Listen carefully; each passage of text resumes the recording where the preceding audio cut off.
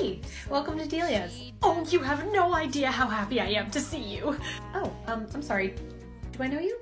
Oh, no, but I've had quite the day. When I went into Hollister, I was poisoned by their cologne when I was just trying to ask where the sales section was. I almost walked into a satanic ritual when I was in Hot Topic when all I wanted was a boobies bracelet. Victoria's Secret tried to tell me I was a D-cup. Wait, wait, wait, you could see in Hollister?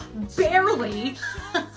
Okay, well, our jeans are buy one, get one half off today like they have been every single day since we've been in business. And our co-working graphic tees are on sale today, and they're literally so cheap that we're actually paying you to take them from us. I'm home.